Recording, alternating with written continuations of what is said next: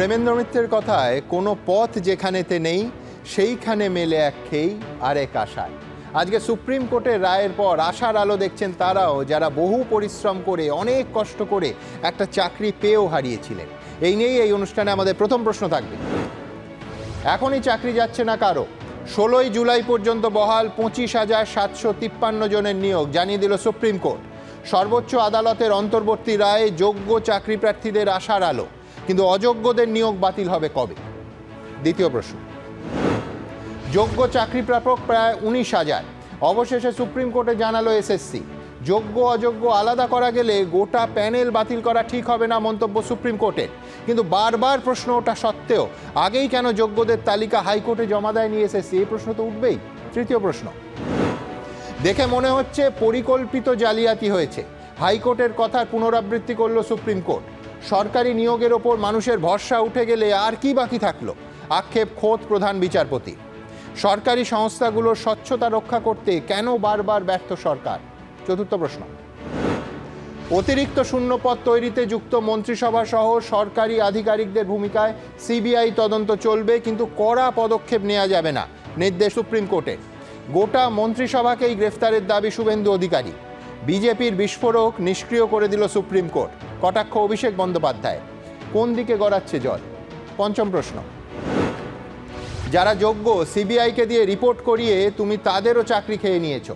এই প্রথমবার মুখ্যমন্ত্রীর মুখে শোনা গেল যোগ্য চাকরি প্রাপকদের কথা। প্রধানমন্ত্রী যোগ্যদের পাশে থাকার বার্তা দেওয়ার পরেই অবস্থান বদল, খোঁচা শুভেন্দু অধিকারী। কিন্তু আর কতদিন ছাত্রছাত্রীদের ভবিষ্যৎ নষ্ট করবে ঘুষ দিয়ে চাকরি পাওয়া অযোগ্যরা? অপ্রিয় কিন্তু এই প্রশ্ন তুলতেই হবে। আজ শুরুতেই আপনাদের দেখাবো চাকরি বাতিল মামলায় আজ কি নির্দেশ দিল দেশের সর্বোচ্চ আদালত। দেখুন। দু সালে স্কুলের চাকরি পাওয়া পঁচিশ হাজার সাতশো তিপ্পান্ন জনের আপাতত চাকরি যাচ্ছে না। মঙ্গলবার অন্তর্বর্তী নির্দেশে জানালো সুপ্রিম কোর্ট। এখনকার মতো বড়সড় স্বস্তি পেলেন দু সালের চাকরি প্রাপকরা। সুপ্রিম কোর্টের প্রধান বিচারপতি ডিওয়াই চন্দ্রচূড় জানালেন, যোগ্য, অযোগ্য আলাদা করা গেলে গোটা প্যানেল বাতিল করা ন্যায্য হবে না। তবে সুপ্রিম কোর্ট এও স্পষ্ট করে দিয়েছে এই প্রায় ছাব্বিশ হাজার শিক্ষক, শিক্ষিকা যারা চাকরি করছেন, তাদের বুঝটেকা দিতে হবে যে তারা যদি অযোগ্য প্রমাণিত হন, তাহলে তাদের ফেরত দিতে হবে সম্পূর্ণ বেতন। জুলাই মাসে অর্থাৎ ভোট মিটে যাওয়ার পর পরবর্তী শুনানির দিন ধার্য করল সর্বোচ্চ আদালত। প্রথমে খানিকটা ঘাবড়েই গেছিলাম, কারণ কে কি সাবমিশন দিচ্ছে, অনেক কিছু বলছে শুনানি চলাকালীন। অনেকটা টেন্স ছিলাম, কিন্তু আলটিমেটলি মনে হচ্ছিল যে আমাদের পক্ষটা একটু ভারী আছে। তো সেক্ষেত্রে যেটা আলটিমেটলি একটা স্টেপ উঠল এবং সিক্সটিন জুলাই অবধি স্টেটা দেওয়া হলো।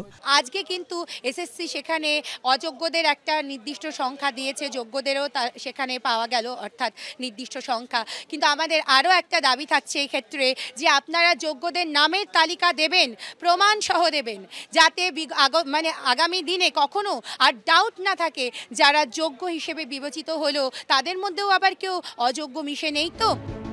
শুধুমাত্র হাইকোর্টের রায় চাকরিহারাদের আপাতত চাকরি বহাল রাখাই নয়। এসএসসি প্যানেলের মেয়াদ শেষ হওয়ার পরেও যারা চাকরি পেয়েছেন, তাদের বারো শতাংশ সুদসহ চার সপ্তাহের মধ্যে বেতন ফেরত দেওয়ার নির্দেশ দিয়েছিল কলকাতা হাইকোর্ট। সেই নির্দেশের ওপর অন্তর্বর্তী স্থগিতাদেশ দিল supreme court. Next date of hearing sixteen July রেখেছে এবং সিক্সটিন জুলাই শুনানি হওয়া পর্যন্ত আপাতত কারও চাকরি যাচ্ছে না। তাদের একটা আন্ডারটেকিং দিতে হবে যে টাকা পয়সা সব ফেরত দিতে হবে, মামলা হেডেক বলে। এবং সিবিআই তদন্ত চলবে, তার উপরে কোনো স্থগিতাদেশ নেই। এটাই হচ্ছে আদেশ। সুপ্রিম কোর্টের নির্দেশে আপাতত স্বস্তি বহাল রইল রাজ্য সরকারের। অতিরিক্ত শূন্যপদ তৈরির ক্ষেত্রে কলকাতা হাইকোর্টের নির্দেশের পর স্ক্যানারে চলে এসেছিল রাজ্য মন্ত্রিসভাও। আগের দিনে কিছুটা স্বস্তি দিয়েছিল সুপ্রিম কোর্ট। সেই নির্দেশ বহাল রেখে মঙ্গলবার সুপ্রিম কোর্ট জানিয়েছে, সিবিআই তদন্ত চলবে। কিন্তু মন্ত্রিসভার বিরুদ্ধে কড়া পদক্ষেপ নিতে পারবে না কেন্দ্রীয় তদন্তকারী এজেন্সি।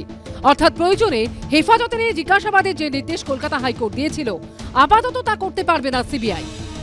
বিরোধী দল নেতা, বিশেষ করে তিনি বলেছিলেন, শুভেন্দু অধিকারী, বোম ফেটে গেল, বোমের বিস্ফোরণ। আজকে সর্বোচ্চ আদালত তার অন্তর্বর্তী আদেশ দিয়ে যেটা দেখিয়ে দিলেন সেটা, ওটা যদি বোম বিস্ফোরণ হয়, তাহলে তাকে নিষ্ক্রিয় কি করে করতে হয়, সেটা অন্তর্বর্তী আদেশ দিয়ে বুঝিয়ে দিলেন।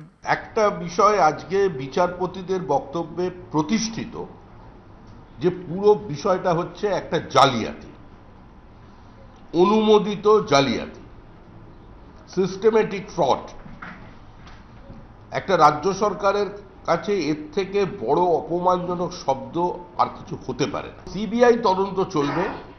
রাজ্য সরকারের মূল যে উদ্দেশ্য ছিল যে কোনো মূল্যে সিবিআই তদন্ত, নিয়োগ দুর্নীতির ক্ষেত্রে বন্ধ করা, তারা সেটা পারা গেল না। স্বাভাবিকভাবেই আবার সেই কিছু মানুষের নাম সামনে উঠে আসবে। সুপ্রিম কোর্ট এদিন জানিয়েছে, মেয়াদ উত্তীর্ণ প্যানেলে চাকরি, সাদা খাতায় চাকরির ক্ষেত্রে সিবিআই তদন্তের নির্দেশ বহাল থাকছে। সুপ্রিম কোর্টে মামলার পরবর্তী শুনানি ষোলোই জুলাই। বিজেন্দ্র সিংহ সৌভিক মজুমদার ও কৃষ্ণেন্দু অধিকারী রিপোর্ট, এবিপি আনন্দ। দেখুন, প্রথম দিন থেকে আমরা বলে আসছি যে, ল অফ ন্যাচারাল জাস্টিস বলে যারা যোগ্য, যারা মেধার ভিত্তিতে ন্যায্যভাবে চাকরি পেয়েছিলেন, তাদের একজনেরও এই নির্লজ্জ দুর্নীতির জন্য চাকরি যেতে পারে না।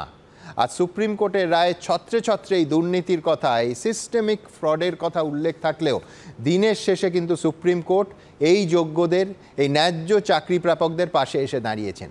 আমি প্রথমেই যাব, আমি বারবার বলি, যার এবং যাদের বলার অধিকার সব থেকে বেশি, কোর্টের রায় চাকরি পেয়েও যাকে চাকরি হারাতে হয়েছিল, সেই প্রিয়াঙ্কা সাউকে দিয়ে এই অনুষ্ঠান শুরু করব। প্রিয়াঙ্কা, আজকে নিঃসন্দেহে তোমাদের একটা বড় স্বস্তির দিন। তুমি আগের দিনের অনুষ্ঠানে বলছিলে যে চাকরির সুরক্ষা এবং তার সঙ্গে সম্মান। কিন্তু এই ষোলোই জুলাই অবধি তোমাদের, যাদের স্কুলে ফিরবে তোমরা তাদের কিন্তু দুর্নীতির জন্য কার্যত একটা মুচলেখা দিয়ে ফিরতে হবে, একটা আন্ডারটেকিং দিতে হবে যে আমি যদি ভবিষ্যতে অযোগ্য প্রমাণিত হই, তাহলে ভবিষ্যতে বেতন ফেরত দিতে বাধ্য থাকব। আজকের সিচুয়েশনে এই রায়ের প্রেক্ষিতে তোমাদের কি বক্তব্য? দেখুন, আমি প্রথমেই বলতে চাইব যে আজকে স্বস্তি হ্যাঁ খানিকটা তো পেলাম, কিন্তু আজকে এতদিন ধরে যে অস্বস্তির মধ্যে ছিলাম, এটার আমরা ডিজার্ভ করি না। আমাদেরকে এই জায়গায় আনা হলো কীভাবে? মানে প্রথম থেকেই যদি এসএসসি তার নিজের যথার্থ ভূমিকা পালন করত যদি সরকারের বারবার বলছি যদি একটা কন্ট্রোল থাকতো কারণ এটা তো পশ্চিমবঙ্গের বাইরে নয় এসএসসিটা সরকারের যদি একটা গুড গভর্নমেন্ট গভর্নেন্স থাকতো তাহলে কিন্তু আজকে এই যে একটা পরিকল্পিত দুর্নীতি সেটা কিন্তু সংগঠিত হতেই পারতো না। এবার এখন যেটা প্রথম বলার যে আমাদের সম্মানের ক্ষেত্রে যেটা বললেন এটা কিন্তু মানে আমরা কেউ ভুলে যেতে পারি না। আমরা যারা শিক্ষক তারা কিন্তু প্রত্যেকেই আমরা মা সরস্বতীর প্রতিনিধি। আজকে ক্রমাগত এই শিক্ষক এবং শিক্ষার প্রতি যে অসম্মান চলছে, তার অবসান অবিলম্বে প্রয়োজন। সেক্ষেত্রে এসএসসির এখনও যথার্থ ভূমিকা পালন করা বাকি। কারণ তারাই প্রকৃত অর্থে বলে দেবে কারা যোগ্য কারা অযোগ্য। ইনফ্যাক্ট তারা এর আগে ভূমিকা পালন করলে এই দিনটাও আসতো এই দিনটা আসতো না এবং আমরা যে রাত্রিগুলো ঘুমাতে পারিনি যে চোখের জল ফেলেছি বা ধরুন আমাদের কথা যদি ছেড়েই দিই যারা রাস্তায় বসে আছে দীর্ঘদিন ধরে প্রায় সাড়ে এগারোশো দিন হ্যাঁ তারা কিন্তু যোগ্য দাবিদার, অথচ তারা রাস্তায় বসে আছে। তারা কি এটা ডিজার্ভ করে? আজকে যদি এসএসসি যথার্থ ভূমিকা পালন করতো, তাদের চাকরি কবে পেয়ে যাওয়ার কথা? অনেকের তাদের কোর্টে আসার মতো সামর্থ্য নেই ফিনান্সিয়ালি চ্যালেঞ্জ তারা পারেনি, সে জায়গা থেকে কিন্তু তারা রাস্তায় বসে আছে। তো সেখানে এসএসসির আজও সময় আছে যথার্থ ভূমিকা পালন করার। তারা যদি বলে দেয়, তারা যদি অযোগ্য কারা এবং যোগ্য কারা? অযোগ্যদের সিস্টেম থেকে বার করার ক্ষেত্রে যাতে কড়া পদক্ষেপ যদি গ্রহণ করে তাহলে কিন্তু যারা রাস্তায় বসে আছে তারা তাদের যোগ্য সম্মানটা ফিরে পায়। পাশাপাশি আমরাও যে যোগ্য আমরা কিন্তু সেটা সকলের সামনে তুলে ধরতে পারি যে আমরা যোগ্য এবং আমরাই শিক্ষক হওয়ার প্রকৃত দাবিদার। ইনফ্যাক্ট প্রিয়াঙ্কা ষোলোই জুলাই কিন্তু এই কলঙ্ক মুক্তির দায় এসএসসি এসএসসিকেই কিন্তু ষোলোই জুলাই তালিকা দিয়ে বলতে হবে যে এদের নিয়োগে কোনো রকমের দুর্নীতি হয়নি।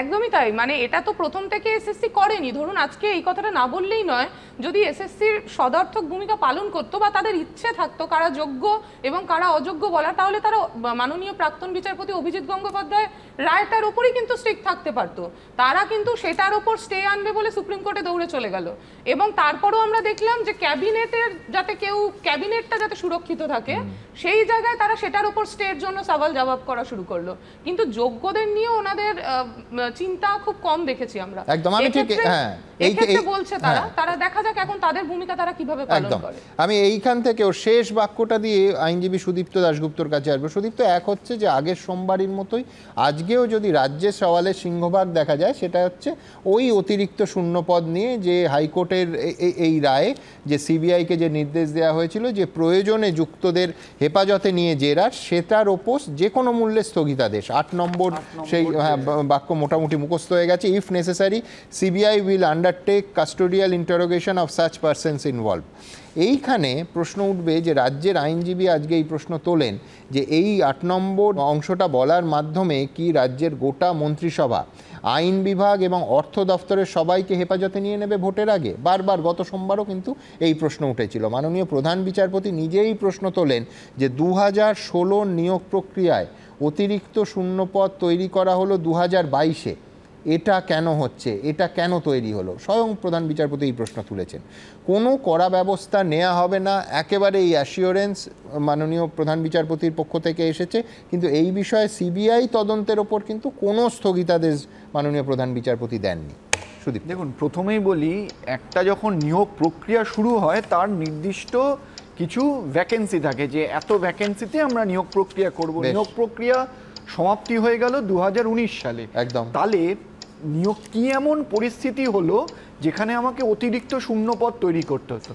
আমার যদি শিক্ষকের অভাব থাকতো, আমি নতুন নিয়োগ প্রক্রিয়া চালু করতাম, তাহলে তো আরও অন্য অনেক যারা যোগ্য, তারা বসতে পারতো। কি এমন অবস্থা হলো যে আমাকে অতিরিক্ত শূন্য পদ তৈরি করে সেই ওয়েটিং লিস্ট থেকেই নিতে হবে? এক। আর এখানে যেটা বলেছে, এটা সম্পূর্ণ সত্য না। কারণ ঠিক এই অতিরিক্ত শূন্যপদ তৈরি হলো তারপরে স্কুল সার্ভিস কমিশন কোর্টের কাছে আবেদন জানালো যে যারা বেআইনিভাবে নিয়োগ পেয়েছে, এই অতিরিক্ত শূন্য পদে তাদেরকে আমরা নিয়োগ করে তাদের চাকরিটা আমরা বজায় রাখতে চাইছি।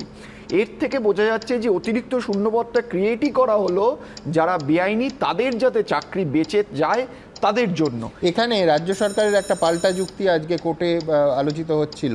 বলা হচ্ছিল যে আমরা অতিরিক্ত শূন্যপদ তৈরি করেছি কিন্তু তাতে তো নিয়োগ করিনি। নিয়োগ কেন হয়নি? কারণ হাইকোর্টের স্টেট জন্য। হাইকোর্টের স্টেট জন্য কিন্তু আপনাকে এখানে দেখতে হবে ক্রিমিনালিটিটা। কি ক্রিমিনালিটি? আমার ইন্টেনশনটা কি? যে বেআইনি চাকরি যারা পেয়েছে হ্যাঁ। তাদের চাকরিটা রক্ষা করতে হবে এবং এটা কারা ডিসিশন নিচ্ছে? আমি মানতাম কোনো ইন্ডিভিজুয়াল লোক। ডিসিশন নিচ্ছে ক্যাবিনেট মন্ত্রিসভা যারা আইনের রক্ষক। তারাই আজকে ডিসিশন নিচ্ছে, যারা বেআইনি চাকরি প্রার্থী, তাদের রক- রক্ষা করতে হবে। তারা দিয়েও দিত। শুধুমাত্র জাস্টিস অভিজিৎ গঙ্গোপাধ্যায় জাস্টিস বিশ্বজিৎ বাসুর হস্তক্ষেপে আজকে সেটার উপর স্থগিতাদেশ পড়েছে। তাই জন্যই কিন্তু হয়নি, কিন্তু এর থেকে কিন্তু তাদের ইন্টেনশনটা বেরিয়ে আসছে। তাদের ইন্টেনশনটাই হলো যারা বেআইনি চাকরি পেয়েছে, তাদের রক্ষা করতে হবে। এখানেই ক্রিমিনালিটি এই জন্যই সিবিআই ইনভেস্টিগেশন এক।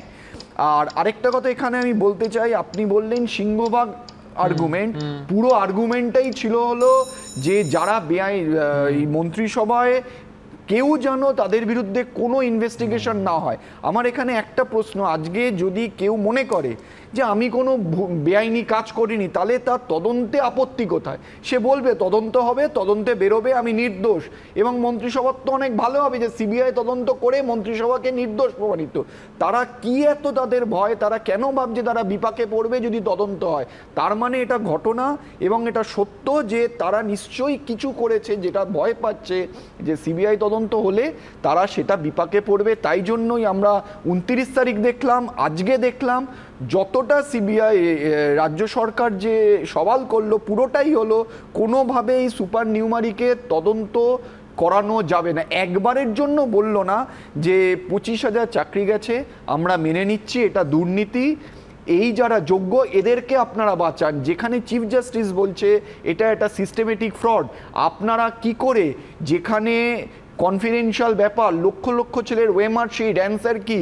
আপনারা কাকে দিচ্ছেন? কার কাছে যাচ্ছে? জানেন না। It's a serious breach of security protocol court আনকোর্ট honourable chief justice এটা বলেছে আজকে। এতেই বোঝা যাচ্ছে যে আজকে এটা পরিষ্কার যে দুর্নীতি হয়েছে। আর এই স্থগিতাদেশ কেন দিয়েছে? অনেকে অনেক বলছে স্থগিতাদেশ দিয়েছে। স্থগিতাদেশ মনে করে থাকবেন যে যে কোনো স্থগিতাদেশ দেয় যখন নর্মালি হাইকোর্ট বা সুপ্রিম কোর্ট একটা অবজারভেশন দেয় যে প্রাথমিকভাবে আমরা মনে করছি যে অর্ডারের এই ভুল কিন্তু আজকে কিন্তু অর্ডারে সেই অবজারভেশন নেই বরঞ্চ বারংবার বলা হয়েছে কি পরিমাণ দুর্নীতি হয়েছে। আজকে স্থগিতাদেশ শুধুমাত্র দেওয়া হয়েছে যেহেতু সুপ্রিম কোর্ট মামলাটির শুনানি চলছে শুনানি চলাকালীন যাতে কেউ মনে না করতে পারে আমার আজকে যদি কোনো স্থগিতাদেশ না দেওয়া হয় আমার মামলার শুনানিটাই ইনফ্রাকচুয়াস হয়ে তাই জন্য ষোলোই জুলাই অবধি এই স্থগিতাদেশ যেটা আমরা দেখেছিলাম নাইন্থ নভেম্বরের অর্ডারে ডিভিশন বেঞ্চকে বলা হয়েছিল ছ মাসের স্থগিতাদেশ এর মধ্যে মামলার শুনানি হোক। বেশ। আমি এইখান থেকে অতিরিক্ত শূন্য পদ। আবার বলছি সিবিআই তদন্ত করবে পাশাপাশি ভারতবর্ষের প্রধান বিচারপতি তিনি স্পষ্ট করে দিয়েছেন কোনো কড়া ব্যবস্থা অর্থাৎ গ্রেফতারি ইত্যাদি কোনো কড়া ব্যবস্থা কিন্তু এই অতিরিক্ত শূন্য পদের তদন্তে নেওয়া যাবে না। পরের প্রতিবেদন। অতিরিক্ত শূন্যপদ তৈরি নিয়ে সিবিআইকে তদন্ত চালিয়ে যাওয়ার নির্দেশ দিল সুপ্রিম কোর্টের প্রধান বিচারপতির বেঞ্চ।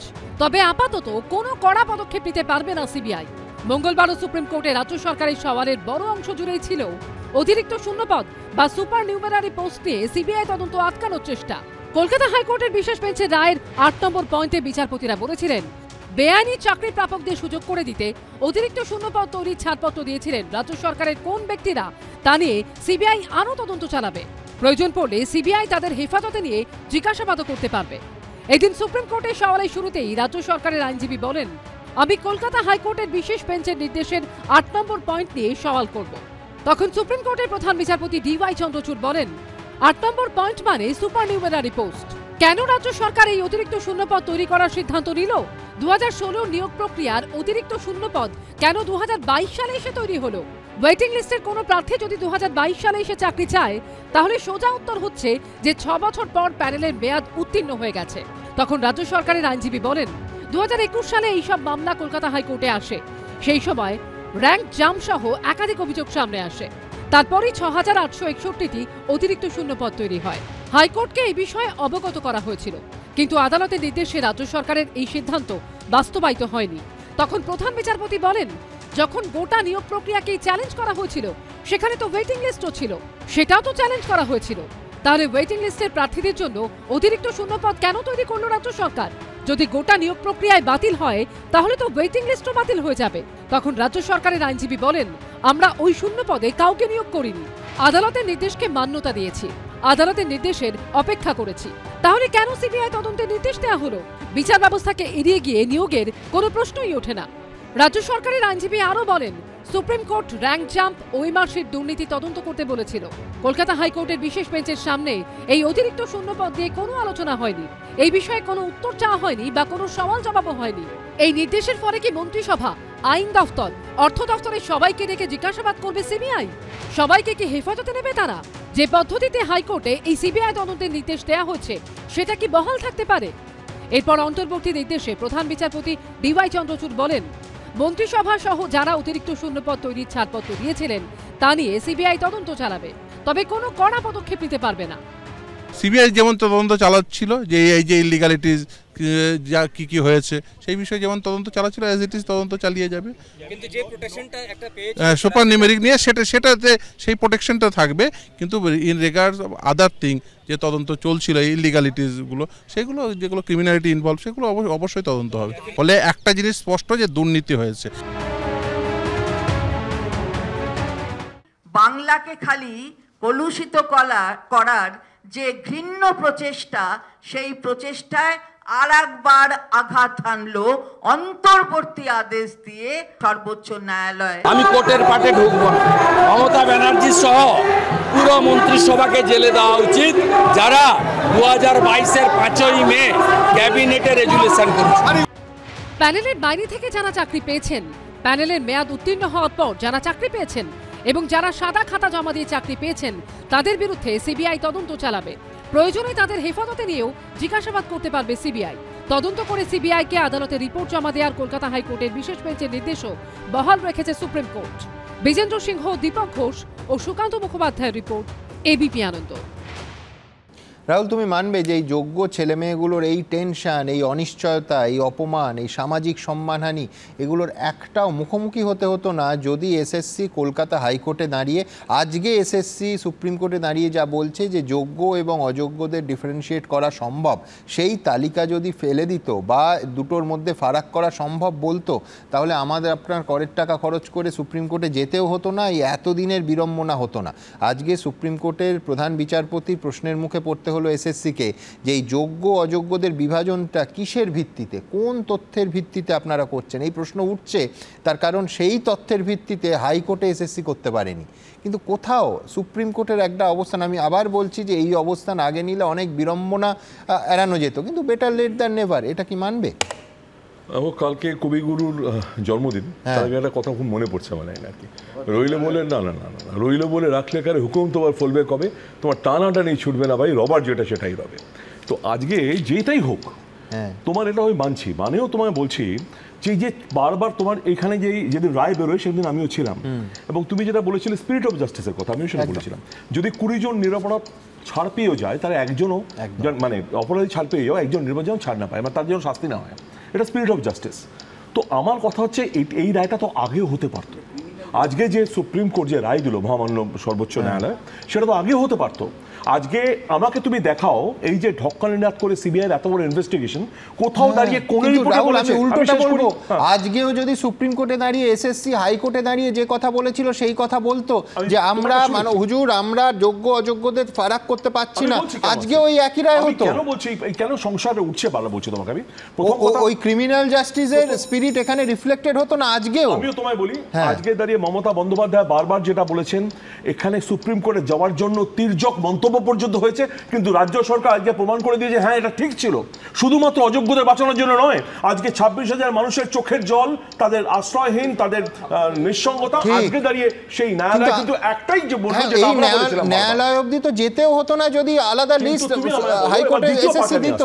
তুমি তো দেখেছ যে হাইকোর্টের আমার বলছি। এসএস হ্যাঁ নিশ্চয়ই এসএসসির তরফে চেয়ারম্যান প্রথম দিন বললেন যে আমি জোর দিয়ে বলতেই পারব না আমি সার্টিফাই করতে পারব না যে এই উনিশ হাজার হচ্ছে যোগ্য পরের দিন তার বিবৃতি সম্পূর্ণ পাল্টে গেল একশো আশি ডিগ্রি ঘুরে তিনি বললেন হ্যাঁ যোগ্য এবং অযোগ্যদের লিস্ট করা সম্ভব প্রশ্ন আছে আমার হ্যাঁ একটা হচ্ছে এই সিবিআই যখন ইনভেস্টিগেশন করছে হ্যাঁ। যোগ্য যোগ্যদের বাদ দিয়ে এই লিস্টটা বাদ দিয়ে খালি ইনভেস্টিগেশন করল হ্যাঁ।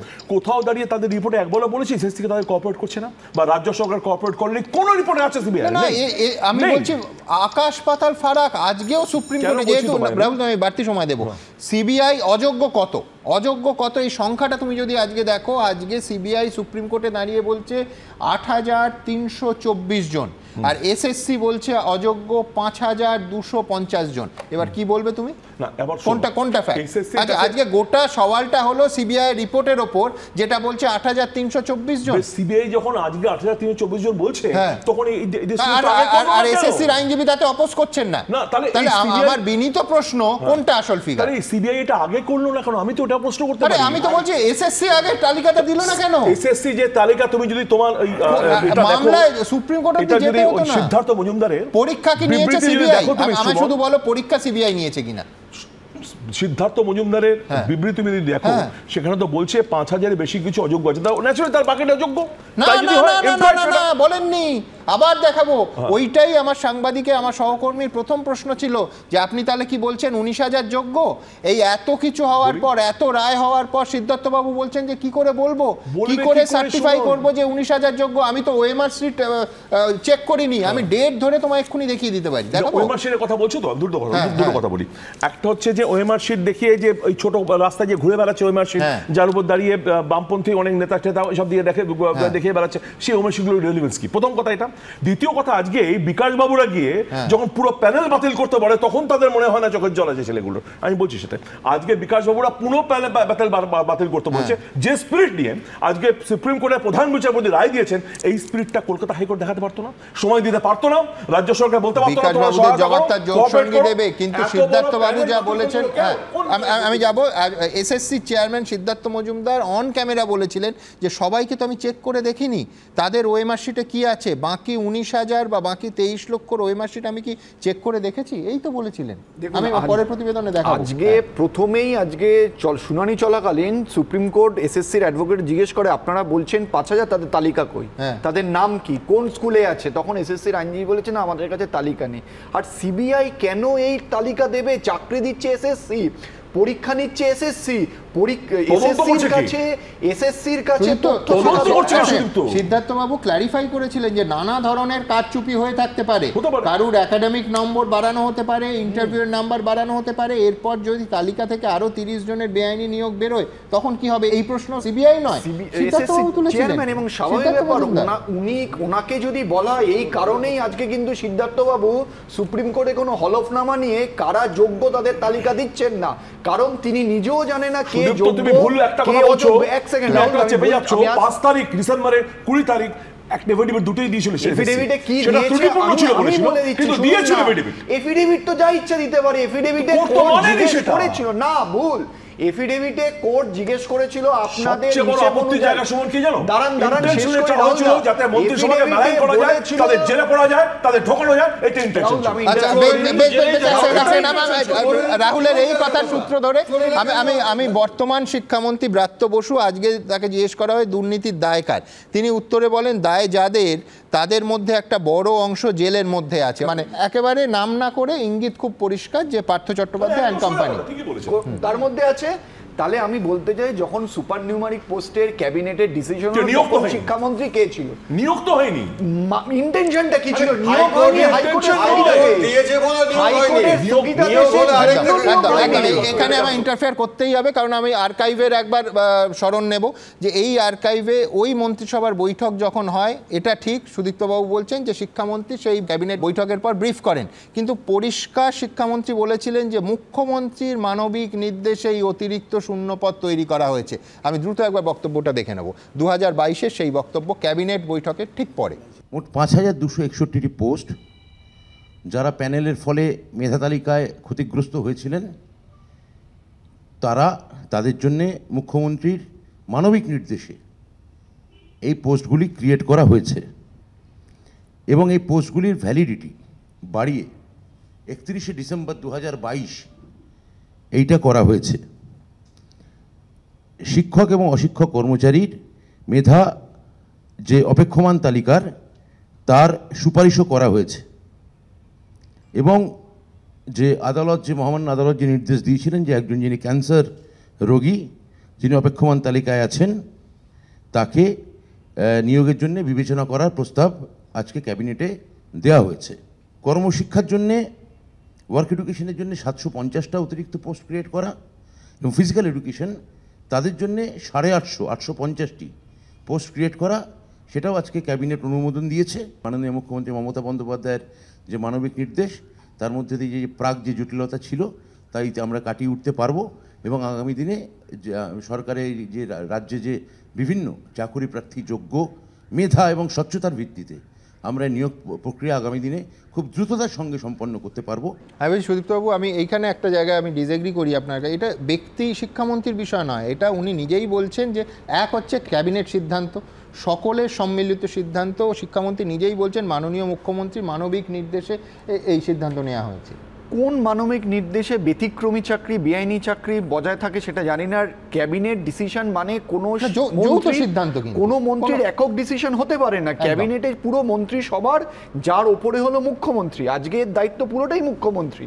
কারণ আজকে যখন ক্যাবিনেট ডিসিশন হয় মুখ্যমন্ত্রী যদি অনুমোদন না থাকে কোনো ক্যাবিনেট ডিসিশন পাসও হবে না। কিন্তু আমি আজকে ব্রাত্যবাবু যে বক্তব্য হ্যাঁ, নো দিয়েছে কোয়ার্সিভ অ্যাকশন আজকে সুপ্রিম কোর্ট বলে দিয়েছেন। একদম না এর জন্য কারণ আজকে কেন আজকে কেন না করেনি খারিজ আজকে কেন বারবার রাজ্য সরকার বলছে আমাদের বিরুদ্ধে ব্যবস্থা যাতে না নেওয়া হয়? কারণ তারা জানে আজকে ব্যবস্থা নিলে তারা যে সিদ্ধান্ত নিয়েছে সেটা বেআইনি সেটা আইনে হয় না। যে যারা বেআইনি চাকরি পেয়েছে তাদের বাঁচানো যাবে। আজকে তারা দেখছে যে অরবিন্দ কেজরিওয়াল মন্ত্রিসভাতে যদি অ্যারেস্ট হতে পারে তাহলে আজকে এখানেও যে মন্ত্রিসভার প্রধান তিনিও আজকে অ্যারেস্ট হতে পারেন। আর আমি মানতাম ব্রাত্য বসু যেটা আজকে যেটা বলেছেন যে যারা এর জন্য দায়ী তারা আজকে জেলের ভেতরে। ব্রাত্য বসু কি এই যে ক্যাবিনেট ডিসিশনে তার ডিসেন্ট জানিয়েছিল যে আমার এই ডিসিশনে আমি রাজি না, উনিও তো রাজি ছিলেন? প্রথম কথা সুবিচারা ভুলে যাচ্ছে যে যদি এটা হয়ে থাকে, আজকে পার্থ চট্টোপাধ্যায় শুধু না, সুবীরের সরকার থেকে সবাই জেলে ভেতর, ভেতরে আছে। দ্বিতীয় কথা, সময়টা ভাবো তুমি, ঠিক নির্বাচনের প্রাককালে। সময়টা ভয়ঙ্কর ভয়ঙ্কর একটা টাইমিং আজকে দাঁড়িয়ে এই সময়টা দিয়ে তৃণমূল কংগ্রেসকে মেলাইন করা, এটাও তো ইন্টেনশন একটা। আজকে রাজ্য সরকারকে হোক না অযোগ্যতা বিচার করা হোক। অযোগ্যতা শাস্তি হোক, আমাদের কোনো আপত্তি নেই। কিন্তু সময়টা ডেঞ্জারাস এই সময়টাকে নেওয়া হচ্ছে। এটা যে হচ্ছে কিন্তু সুপ্রিম কোর্টের। হোক, আজকে কিন্তু এখনও আমরা সংশয়ে দাঁড়িয়ে আছি। কেন বলুন তো? কারণ সিবিআই বলছে আট হাজার সামথিং এখনও কমিশনের জায়গা থেকে কিন্তু কমিশন বলছে পাঁচ হাজার। এবার ব্যাপার হচ্ছে আমরা এখনও সেই সংশয়ের জায়গায় এই যদি সুপ্রিম কোর্টে আবার থাকে তাহলে কিন্তু প্যানেলটা আবার বাদ হয়ে যাবে। কারণ বলছে, যে দেবে। হাইকোর্ট দিয়েছে, এটা বড় এটা। দীর্ঘদিন না এটা দীর্ঘদিন হয়েছে। আমরা কিন্তু সেই সংশয়ের মধ্যে সময় তো তখনও ছিল না আপনারা তো হাইকোর্টে বলে দিতে তো পারতেন কমপ্লিকেশন তো হতোই না। আপনারা তো এখনও সেই কমপ্লিকেশনের মধ্যে আমাদেরকে ঢোকাতে ঠিক না আমার মনে হয়। আমি বলছি উপনিষদে আছে যে শব্দ ব্রহ্ম কিন্তু এই ক্ষেত্রে দেখা যাচ্ছে সংখ্যা ব্রহ্ম। কেন সংখ্যা ব্রহ্ম? আবার বলছি যে সংখ্যাটা আট হাজার তিনশো চব্বিশ যেরম সিবিআই বলছে আজকে সুপ্রিম কোর্টে গোটা দিন সিবিআই যিনি আইনজীবী ছিলেন তিনি বলে গেলেন নাকি এসএসসি যা বলছে যে অযোগ্যদের সংখ্যা পাঁচ হাজার দুশো পঞ্চাশ। কেন বারবার এই কথা বলছি?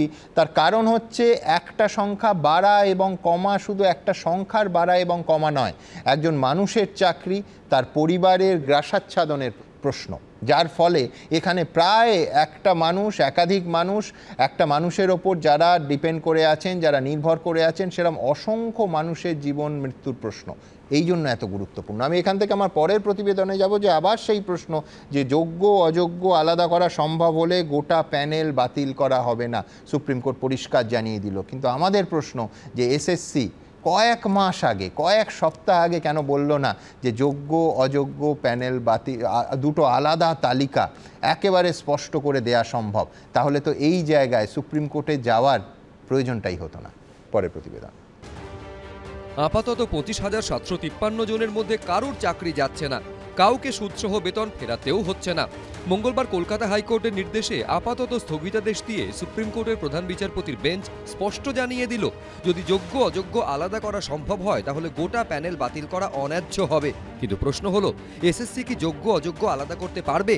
সেটা করার মতো পর্যাপ্ত তথ্য কি তাদের হাতে আছে? যোগ্য আর অযোগ্য প্রার্থীর তালিকা কি এসএসসির কাছে আছে? মঙ্গলবার এসএসসির তরফে সুপ্রিম কোর্টে মৌখিকভাবে জানানো হয়, যাদের চাকরি বাতিল হয়েছে তার মধ্যে উনিশ হাজার যোগ্য। সুপ্রিম কোর্টের প্রধান বিচারপতি ডিওয়াই চন্দ্রচূড় এসএসসির আইনজীবীকে প্রশ্ন করেন, যোগ্য এবং অযোগ্য চাকরি প্রার্থী কি আলাদা করা সম্ভব? এটা করার মতো কোনো তথ্য নথি কি আছে? উত্তরে এসএসসির আইনজীবী জানান, সিবিআই এর বাজেয়াপ্ত করা ডিজিটাল ডেটা দেখতে দেওয়া হলে যোগ্য অযোগ্যদের আলাদা করা সম্ভব। তবে এখন এসএসসি এই কথা বললেও শুরুতে তাদের সুর ছিল একেবারে উল্টো। কলকাতা হাইকোর্ট চাকরি বাতিলের নির্দেশ দেওয়ার পর এসএসসির চেয়ারম্যান দাবি করেছিলেন যোগ্য অযোগ্যদের স্পষ্ট বিভাজন করা কার্যত অসম্ভব। যারা বেআইনি যারা অযোগ্য বাকি সবাই যোগ্য? দেখুন আমাদের যা রেকমেন্ডেশন গেছে তার মধ্যে আমরা চিহ্নিত করেছি এদের। বাকিরা যোগ্য? এবারে যদি কোনো নতুন তথ্য প্রমাণ না আসে বা আপাত দৃষ্টিতে এই মুহূর্তের তথ্যে দাঁড়িয়ে তারা যোগ্য? বাকি সবাইকে যোগ্য বলতে আমি আপনি তো তাহলে পাচ্ছেন না। এটা কখনো সার্টিফাই করা যায় না। সবাইকে আমি তো চেক করে দেখিনি তাদের ওএমআর কি আমি বাকি উনিশ হাজারের বা বাকি তেইশ লক্ষের ওএমআর চেক করে দেখেছি? মঙ্গলবার সেই এসএসসি সুপ্রিম কোর্টে মৌখিকভাবে যোগ্যদের সংখ্যা জানানোর পর আন্দোলনকারী চাকরি প্রার্থীদের অনেকেই প্রশ্ন তুলছেন। এতদিন ধরে হাইকোর্টে মামলা চলাকালীন এই কথা কেন বলেনি এসএসসি? তাহলে তো যোগ্য প্রার্থীদের রাস্তায় বসতে হতো না। এ রাজ্যের মুখ্যমন্ত্রী তো শেষ পর্যন্ত সংবিধানকে শপথ নিয়েই মুখ্যমন্ত্রী হয়েছেন। তিনি বিলক্ষণ বোঝেন, সুপ্রিম কোর্টে চালাকি করলে যে চালাকিটা কলকাতা হাইকোর্টে করেছিল এসএসসি এবং এই সরকার, সুপ্রিম কোর্টে সেই একই কাজ করলে তার যে চেয়ার থাকবে না, মন্ত্রীদের যে চেয়ার থাকবে না, সেটা মুখ্যমন্ত্রী ভালো বুঝেছেন। সেজন্য এসএসসি এই বিরাট সংখ্যক দুর্নীতির কথা সেগ্রিগেশন তথ্য প্রকাশ করেছে। যারা যোগ্য নয়, সেই অযোগ্যদের আট লাখ, দশ লাখ টাকার বিনিময়ে চাকরি দিয়েছে। আজকে ধরা পড়ে গেছে। আজকে শুনছি সুপ্রিম কোর্টে তারা জানিয়েছে প্রায় ছ হাজার এরকম জাল প্রার্থী আছে। ছ হাজারকে গুণ করুন, আট লাখ টাকা দিয়ে। চার হাজার আটশো কোটি টাকা।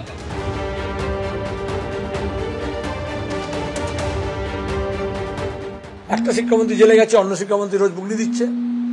এদের সবার শাস্তি দেওয়া উচিত। যোগ্য চাকরি প্রার্থীদের নয়, শিক্ষকদের নয়। অযোগ্য সরকার এবং স্কুল সার্ভিস কমিশন যারা যোগ্যতা নির্ণয় পরীক্ষা নিল, কিন্তু কোনো রেকর্ডস নেই। কে যোগ্য, অযোগ্য, সবটাকে মিশিয়ে দিয়েছিল। কিছু যোগ্য, কিছু অযোগ্য, এই নিয়েই তো বিতর্ক। মাননীয় সর্বোচ্চ আদালত কি বলল, যদি তাই হয়, তাহলে পুরো প্যানেলটা কেন ক্যান্সেল হয়ে যাবে? যদি কিছু যোগ্য আর কিছু অযোগ্য, এই নিয়ে বিতর্ক থাকে তাহলে সম্পূর্ণ প্যানেলটা সেটা বাতিল হয়ে যাওয়ার কোনো কারণ নেই। তাই তার ওপরে স্থগিতাদেশ। এসএসসি মৌখিকভাবে যোগ্য চাকরি প্রার্থীর সংখ্যা জানালেও অযোগ্য চাকরি প্রার্থীর সংখ্যা নিয়ে তাদের অবস্থানে বিভ্রান্তি তৈরি হয়েছে। চাকরি প্রার্থীদের আইনজীবী বিকাশ রঞ্জন ভট্টাচার্য এদিন সওয়াল করতে গিয়ে বলেন আট হাজার তিনশো চব্বিশ জনের নিয়োগ বেআইনি। তা শুনে বিচারপতি প্রশ্ন করেন, আট হাজার তিনশো চব্বিশ জনের নিয়োগ অবৈধ হলে পুরো প্যানেল বাতিল করা হলো কেন? এর আগে এসএসসির তরফে দাবি করা হয়, তাদের দেওয়া তালিকা অনুযায়ী বিতর্কিত চাকরি প্রার্থীদের সংখ্যা পাঁচ হাজার দুশো পঞ্চাশ। এখানেই প্রশ্ন উঠছে, তাহলে অযোগ্য চাকরি প্রার্থীদের প্রকৃত সংখ্যা কত? এই নিয়ে কি এসএসসি আগামী দিনে অবস্থান স্পষ্ট করবে? বিজেন্দ্র সিংহ, সৌভিক মজুমদার, বিটন চক্রবর্তী, এবিপি আনন্দ। আমি প্রণয় রায়ের কাছে আসব। প্রণয়দা আজকে মাননীয় প্রধান বিচারপতির বক্তব্যের সামাজিক সত্য উঠে এসেছে। প্রধান বিচারপতি বলছেন যে, সরকারি চাকরি অত্যন্ত মূল্যবান, অনেক দরিদ্র মানুষও সরকারি চাকরির আশায় থাকে। তিনি বলছেন যে, সরকারি নিয়োগের প্রতি মানুষের যদি ভরসা উঠে যায়, তাহলে আর কি বাকি থাকে? আমি ঠিক এইখানে যে, লক্ষ্য করুন যে, প্রত্যেকটা সরকারি নিয়োগ পরীক্ষা নিয়ে একটার পর একটা প্রশ্ন উঠছে। এবং সরকারি চাকরি স্থায়ী এই কনসেপ্টটা একদম লাগাতার চ্যালেঞ্জ হচ্ছে না। আমি বলছি এটা মিমের জায়গায় চলে এসছে। আপনি লক্ষ্য করবেন যে পাত্র চাই, পাত্রী চাই বিজ্ঞাপন সোশ্যাল মিডিয়ায় ঘুরছে যে সরকারি চাকুরিরত অথবা চাকুরিরতা পাত্র অথবা পাত্রী চাই, যে চাকরির তদন্ত সিবিআই করছে না। আমি বলছি, ঠিক অনেক with a very serious note এই রসিকতা সরিয়ে রেখে এই স্পিরিটটাই কিন্তু মাননীয় প্রধান বিচারপতি বলছেন যে, আজকে যদি সরকারি নিয়োগের প্রতি সাধারণ মানুষের, দরিদ্র মানুষের ভরসা উঠে যায়, তাহলে কি আর বাকি থাকে? প্রথম তো হচ্ছে প্রধানমন্ত্রী নরেন্দ্র মোদী যে কথা বলেছেন যে, আমরা যোগ্য প্রার্থীদের পক্ষে আছি, যোগ্য প্রার্থীদের সমস্ত রকম সহযোগিতা আমরা করব। আমাদের লিগ্যাল টিম অলরেডি তার প্রস্তুতি নিচ্ছেন। যারা যোগ্য প্রার্থী তাদেরকে বিনা খরচে তাদেরকে আমরা সহযোগিতা করব এক। হ্যাঁ কিন্তু ষোলোই জুলাই অবধি তৃণমূল কংগ্রেস বিশেষ করে নির্বাচনের বাকি ফেজে দক্ষিণবঙ্গে নির্বাচন ঢুকছে তৃণমূল তো বলবে যে আমরা পাশে আছি আমরা দেখিয়ে দিলাম একটু আগে আপনি যেটা বলছিলেন হ্যাঁ। এগিয়ে বাংলা মমতা ব্যানার্জির গ্যারান্টি এটাই যে সরকারি চাকরিরও কোনো গ্যারান্টি নেই। বেসরকারি প্রতিষ্ঠানে চাকরি করলে আপনাকে হয়তো বারো পার্সেন্ট ইন্টারেস্ট দিয়ে বেতন ফেরত দিতে হবে না কারণ সেখানে যোগ্যরাই চাকরি পায়। আর এখানকার এগিয়ে বাংলা, এমনই এগিয়ে বাংলা, সরকারি চাকরি যারা করেছে, তাদের চাকরিরও কোনো গ্যারান্টি নেই। দেখুন, যে বিষয়টা আজকে দাঁড়াচ্ছে, একটু আগে আমি এখানে তৃণমূলের প্রতিনিধি বলছিলেন, অনেক কথা বলছিলেন। আজকে সুপ্রিম কোর্ট যেটা বলেছে, তো অনেক দিন আগে জাস্টিস অভিজিৎ গাঙ্গুলি এক কথা বলেছিলেন। অভিজিৎ গাঙ্গুলি তো বলেছিলেন যে, আপনারা আমাদেরকে ভাগ করে দিন, কারা যোগ্য, কারা অযোগ্য। যদি আপনারা ভাগ করে দিতে না পারেন তাহলে পুরো প্যানেল কোর্ট বাতিল করতে আমরা বাধ্য হব। তো সেটাই তো আজকে সুপ্রিম কোর্ট তারপরে মাননীয় বিচারপতি দেবাংশু বসাক বারবার বলেছে বারবার যে বলেছে তালিকা দিন তো আজকে যদি এসএসসি সুপ্রিম কোর্টে গিয়ে এটা বলে তো সেদিন যদি হাইকোর্টে দিত তাহলে তো আজকে ইনা- ইনাদের যারা যোগ্য প্রার্থী তাদের সম্মানহানি হতো না। একটা পারিবারিক সম্মান তো আছে। আজকে একই ব্র্যাকেটের মধ্যে যখন সবাইকে ফেলে দেওয়া হয়েছে এর দায়িত্ব মুখ্যমন্ত্রীকেই নিতে হবে। আর এই যে একটা কথা হচ্ছিল একটু আগে শুনছিলাম যে ওটা কেন আগে হয়নি সেটা কেন হয়নি? আজকে মুখ্যমন্ত্রী যখন বলেন যে দুশো চুরানব্বইটা সিটে আমি প্রার্থী আর তৃণমূল কংগ্রেস যখন বলেন সবই তার অনুপ্রেরণাতে হয় তার মানবিকতার খাতিরে আমি শুনছি মানবিক দিক। নিঃসন্দেহে ঠিক কথা বলেছেন শিক্ষামন্ত্রী। মুখ্যমন্ত্রীর তো একটা মানবিক দিক আছেই। তার কারণ মুখ্যমন্ত্রী তো জানেন কোটি কোটি টাকা তারা ইনকাম করেছেন। লক্ষ লক্ষ টাকা বিক্রি করে যারা চাকরি নিয়েছেন সেটা পাঁচ হাজার হোক ছ হাজার হোক সাত হাজার হোক। যাই হোক তার দলের নেতা মন্ত্রীরা ঘটি বাটি বিক্রি করে জমি বিক্রি করে যাদের কাছে টাকা নিয়েছেন তাদের প্রতি তো মানবিক হতেই হবে। আর তাদের প্রতি যদি মানবিক না হন তাহলে তো তারা ওই কালীঘাটের সামনে শান্তিনিকেতনের সামনে ধর্ণা দেবেন। আর সেই ধর্ণা পশ্চিমবঙ্গের পুলিশ আটকাতে পারবে না তার কারণ তারা অন্যায় কাজ করে থাকলেও তারা যে দোকান থেকে এই চাকরিগুলো কিনেছেন সেই দোকানের সামনে যদি শান্তিপূর্ণ ধর্ণা দেন আমরা সাধারণ মানুষ তাদের সাথে ধর্নায় বসবো। সেই যারা চাকরি নিয়ে টাকা নিয়েছেন সেই টাকা ফেরতের জন্য। প্রথম কথা হচ্ছে সমস্যা হচ্ছে যে যে পদ্মবতীর কথা বললেন একটু আগে মাননীয় বিচারপতি অভিজিৎ গাঙ্গুলি ঢাকি সহ বিসর্জন দিয়ে দেবে। বিসর্জন কাদের দেওয়ার কথা বলছিল? এই রায় কিন্তু মাননীয় প্রাক্তন বিচারপতি অভিজিৎ গঙ্গোপাধ্যায়ের নয়। ঢাকি সহ বিসর্জন তো হলো না। আজকে হবে ও, অপেক্ষা করো।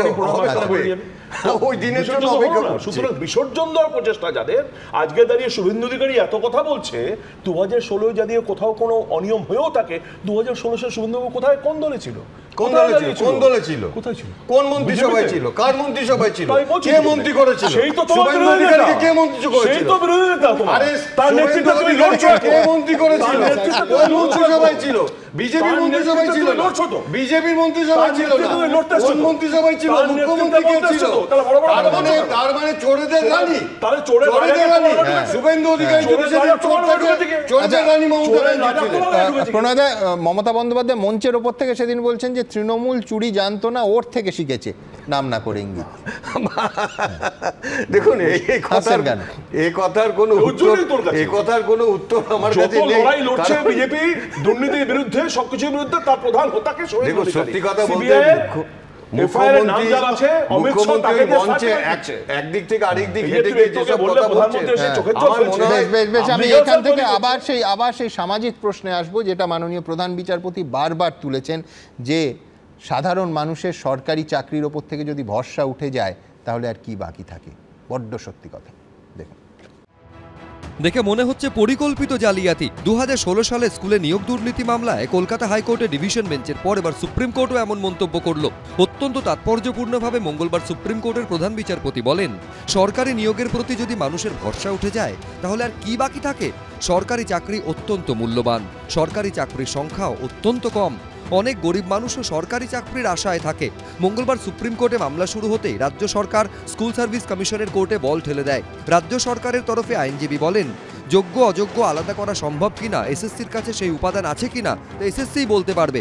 রাজ্য সরকারের তরফে আইনজীবী বলেন, পুরো প্যানেল বাতিলের প্রয়োজন ছিল, নাকি অংশবিশেষ বাতিল করার সুযোগ ছিল? সেটাও এসএসসি বলতে পারবে। সেই অংশে আমি যাচ্ছি না। রাজ্যের দায়িত্ব বেতন দেওয়া। ওএমআর স্ক্যান নিয়ে এদিন প্রধান বিচারপতির প্রশ্নের মুখে পড়েন এসএসসির আইনজীবী।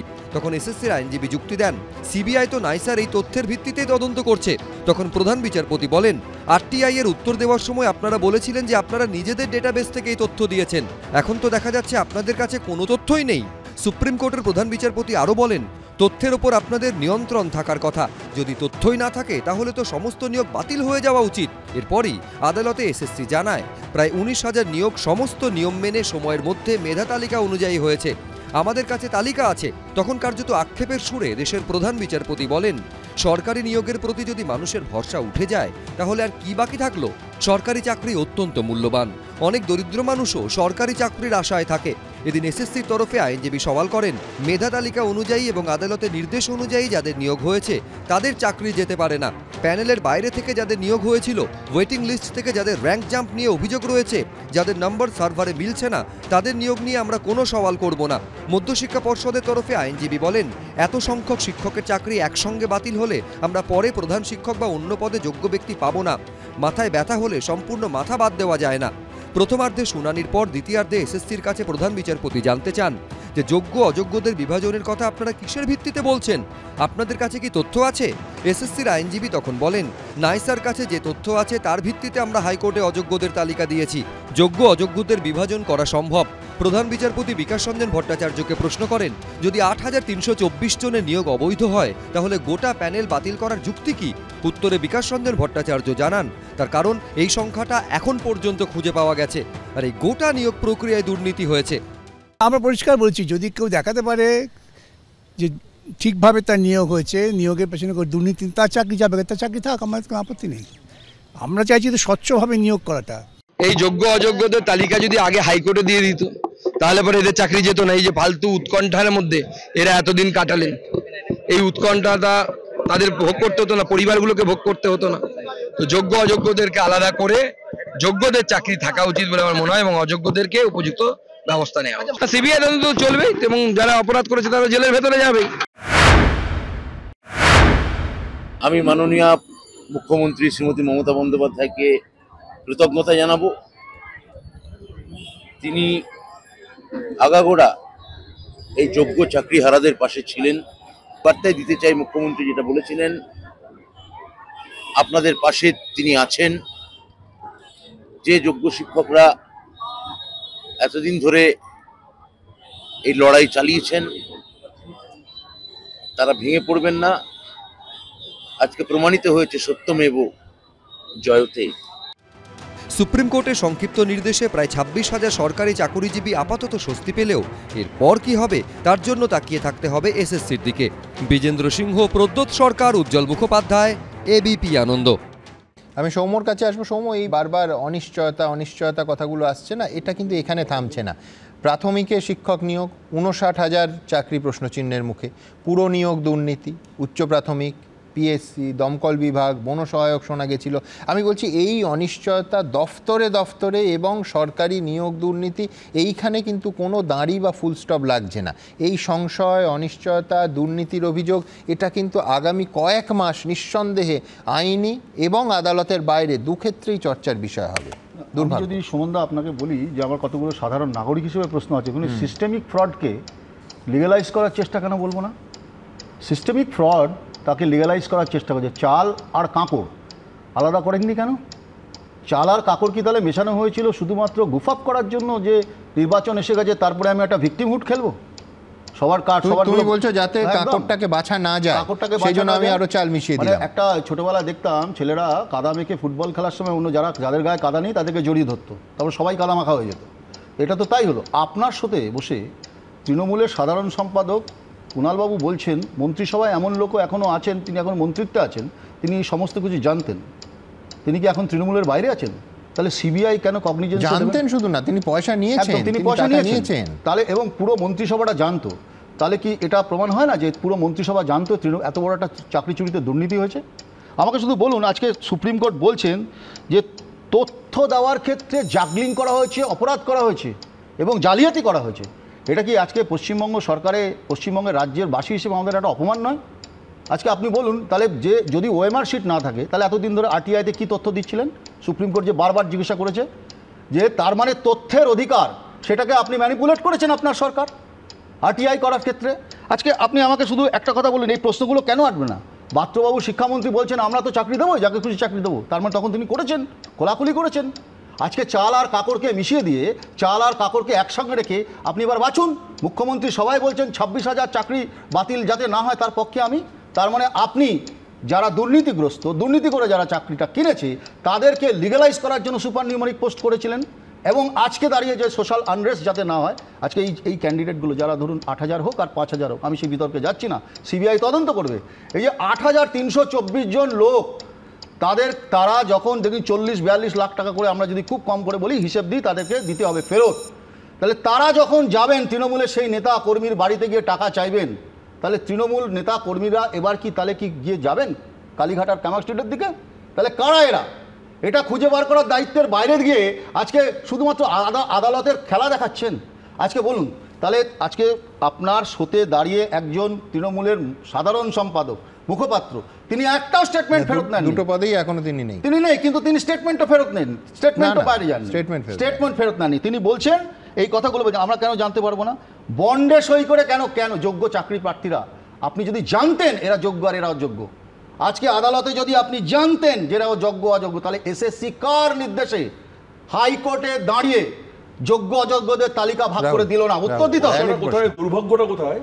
দুর্ভাগ্যটা এখানেই আমরা যখন ধর্ণা দিচ্ছিল ধর্ণা নিয়ে আমাদের আপত্তি ছিল না। ধর্ণা দেবেন অধিকারও ধর্ণা দেওয়ার। কিন্তু কোথাও দাঁড়িয়ে হ্যাঁ, সেটাকে আমি বলছি আজকে আজকে প্রিয়া- প্রিয়া- প্রিয়াঙ্কাদের মুচলেকা দিতে হবে কেন রাহুল? সমস্যা ছিল না। আমরা কিন্তু আপনাদের তরফ থেকে বিভিন্ন সমস্যার সম্মুখীন হয়েছি। শেষ করতে প্লিজ আমার বক্তব্য হচ্ছে ধর্ণাটা যেন পলিটিক্যাল কোনো টুরিস্ট হাবে পরিণত না হয়। এটা প্রথম কথা। দ্বিতীয় কথা আজকেও বলছি ছিল দুর্ভাগ্য এখানে। এটা কোনোদিন ছিল না। সিঙ্গুর- রাহুল সিঙ্গুরের আন্দোলন যখন চলছিল নন্দীগ্রাম যখন চলছিল টুরিস্ট স্টাফ ছিল না তো মানে লাগে আমি তো শেষ করে দিলাম হ্যাঁ, কথা। না, আর দ্বিতীয়ত যেভাবে যে টোনে সৌম্য বা প্রণয়রা কথা বলছে সেখানে একটা কথাই দাঁড়ায় যদি এদের পুরো প্যানেল বাতিল হতো সবচেয়ে খুশি হতো।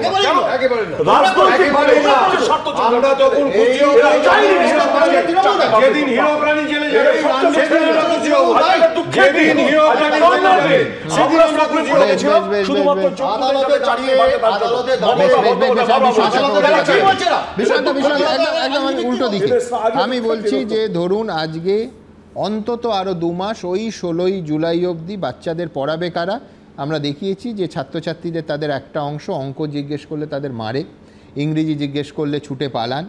আমি বলছি যোগ্যদের, ঠিক পাশাপাশি আমরা যেটা বলছি যোগ্যদের যে কোনো মূল্যে চাকরি রাখতে হবে। একজন যোগ্যরও যেন চাকরি না যায়। পাশাপাশি ওই একই দৃঢ়তার সঙ্গে অযোগ্যদের শিক্ষকদের চেয়ার থেকে এই মুহূর্তে সরাতে হবে। তার কারণ হচ্ছে যে চাল আর কাঁকড় একদর হয়ে গেলে, মুড়ি মিছরি একদর হয়ে গেলে ভবিষ্যৎ প্রজন্মের কাছে দেওয়ার মতো জবাব থাকবে না। সুমন্দা আমি পরিষ্কার করে বলতে চাই আজকের রায়ে কিন্তু বিপ্লব কিছু হয়নি।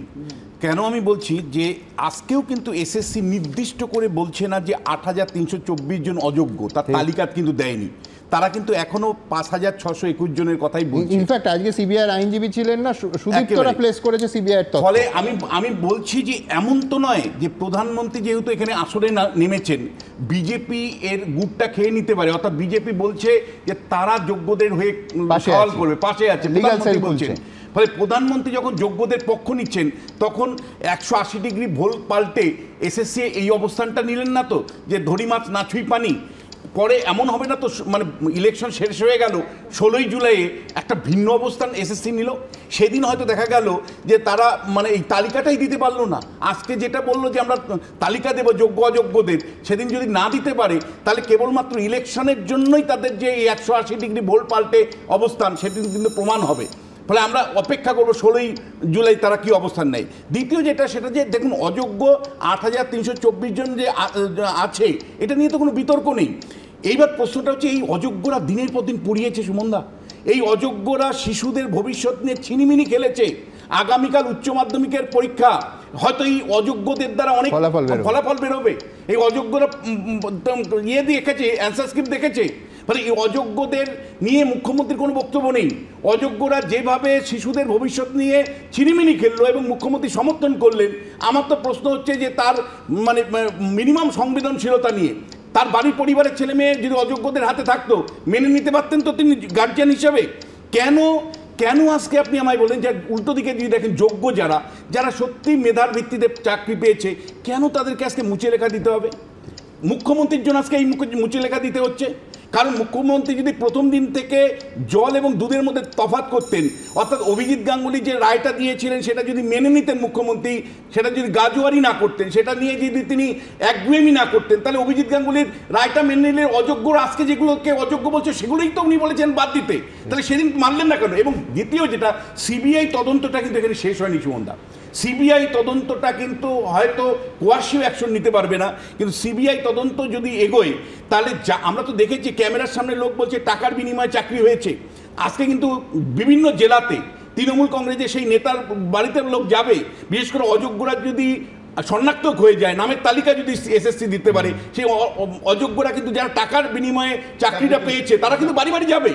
এবং সিবিআই কিন্তু তদন্ত করে বের করতে হবে। সিবিআই তদন্ত জারি আছে যে জেলায় কোন তৃণমূল নেতাদেরকে টাকা দিতে হয়েছে কীভাবে টাকা দিতে হয়েছে? আজকে তৃণমূল মানে তৃণমূল নেতা তৃণমূল নেতা কুণাল ঘোষ বলছেন আপনার শোতে এসে যে এখনও মন্ত্রিসভায় এমন একজন মন্ত্রী আছেন যিনি এই ধরনের দুর্নীতির সাথে যুক্ত। করেছেন। টাকা হ্যাঁ বিক্রি করেছেন। করেছেন এবং ঘুষের ডিসকাউন্টের জন্য কুণাল ঘোষকে অনুরোধ আমার করা আমার তো আমি ব্যক্তিগতভাবে কুণাল ঘোষকে অনুরোধ করব যে আপনার সিবিআই এর কাছে গিয়ে তদন্তে সহযোগিতা করা দরকার। যে কোন মন্ত্রী যুক্ত আছেন কে টাকা নিয়েছিলেন কেই দুর্নীতির সাথে যুক্ত আছেন কুণাল ঘোষ আপনার বলা উচিত। আপনি আপনি অনেক সময় দাবি করেন যে আপনি একজন সচেতন নাগরিক। তাহলে সচেতন নাগরিক হলে এই মন্ত্রিসভায় দুর্নীতির সাথে যুক্ত আছে এমনকে নিয়ে মমতা বন্দ্যোপাধ্যায় ঘর সংসার করছে কেন? কেন তিনি মন্ত্রিসভায় রাখছেন তাকে? আছে সিবিআই কি কোথাও তার কোনো কোনো জায়গায় কোন রিপোর্টে বলেছে? রাজ্য সরকার তো আমি সহযোগিতা নিয়ে রাজ্য সরকার- সহযোগিতা করেনি বা কোথাও তার এসে সহযোগিতা করেনি? কোথাও যে রাজ্য সরকার সহযোগিতা করছে না কোথাও দেখাতে পারবেন আপনি? সিবিআই কাজটা সবার আমি আমি আমি আসব প্রিয়াঙ্কা সবার কাছে আসব কিন্তু দ্রুত একবার আপনারা কি বলছেন? এবং দেখানোর চেষ্টা করব যে এতবার যেহেতু রেফার্ড হলো যে কুণাল ঘোষটি কি বলেছিলেন, আমি আর্কাইভ থেকে খুঁজে বার করার চেষ্টা করব। কিন্তু আপনারা জানেন আমাদের ভেরিফাইড এক্স এবং কু অ্যাকাউন্ট সঙ্গে Suman at the rate I M Suman Dey. প্রচুর মন্তব্য, আমি দ্রুত একটা মন্তব্য নিয়ে নেব। শেখ শামীম তিনি লিখছেন, আগে যোগ্য, অযোগ্য বিভাজনের সদিচ্ছে না দেখানোর পেছনে প্রভাবশালীদের হাত আছে কি না তার তদন্ত হোক। অতীশচন্দ্র ভাবার লিখছেন, যোগ্য, অযোগ্য বাছাই পর্ব অনন্তকাল ধরে চলবে না তো? গৌতম বাগুই লিখছেন, যোগ্য, অযোগ্য, আলাদা করা সম্ভব হলে এতদিন করা হয়নি কেন? বিনয় সাউ লিখছেন, যোগ্যদের যে সম্মানহানির মুখে পড়তে হলো, তার দায় কে নেবে? অনিন্দ পাল লিখছেন, এতদিন শোনা যাচ্ছিল অবৈধ নিয়োগ প্রায় পাঁচ হাজার। এখন সেটা হলো আট হাজার। মুখের কথার কি মূল্য নেই?